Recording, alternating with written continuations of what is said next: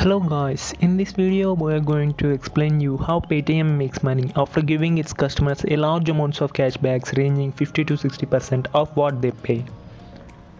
Paytm is India's largest mobile payments e-wallet platform. First it started as a recharge platform but subsequently changed its business motive and became a virtual bank.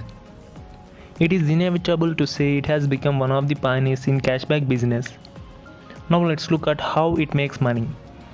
It has got a lot of different ways to make money. Firstly, Paytm Mall. Paytm Mall is a online business service. It has got over 120 million buyers and is the most beneficial marketplace for sellers. Revenue from Paytm Mall is generated in the form of fees and commission from the sellers that varies for different category of products. Then recharge services. At first it is only an online recharge service provided. But then it started providing recharges for TV channels, data cards, etc. The company just like any other recharge service provider charges commissions from these operators. In addition to these, customers can pay their electricity bills, water bills, etc. using Paytm. It has also partnered with several financial organizations and act as a portal to accept education fees, etc. It also charges commissions from these providers.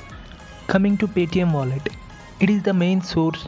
Did you ever wonder how it can even after giving 50 to 60% cashbacks? You should have noticed that cashbacks are credited to the users in their Paytm wallets and Paytm wallet is not a fully open wallet. It is approved by RBI and it can be used to store currency in digital form which can be used to buy goods and services anywhere and which have a specific contract with the company to accept these payment instruments. Paytm wallet doesn't permit you to withdraw the cash. Then how does Paytm earn through Paytm wallet? Paytm wallet can be used to pay for almost anything everywhere. It has created a new market for digital currency users to make it use. Money can be transferred between the Paytm wallets of two users with just taps on their mobile phone. And then the interest from the escrow account is decided on the basis of the average of the deposited amount in a certain period of time.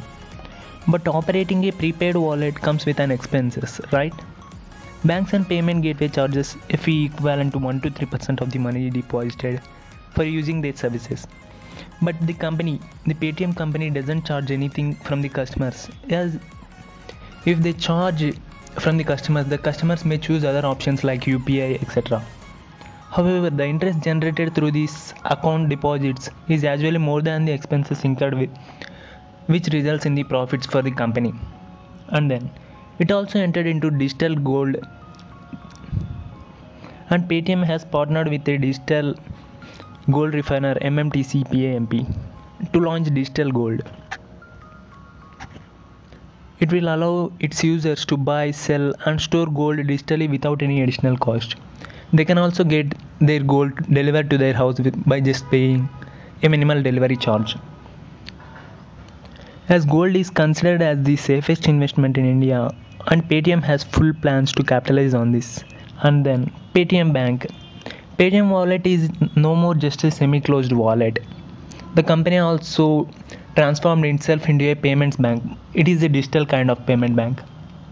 It gives out interest on the deposits but can't offer loans to its customers. Just like the Paytm wallets, users operate, can operate Paytm bank using their smartphones, etc. And Paytm company also issue debit cards to their customers.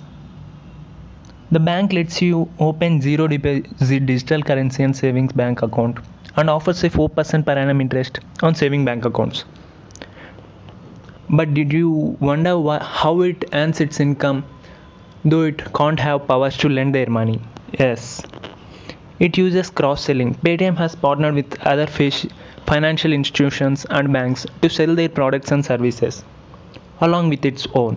It earns money in the form of commissions or other forms as per the contract between the parties and it also makes money by depositing the money with some other bank and or government deposits which provide interest rates greater than that is provided by this bank i mean paytm bank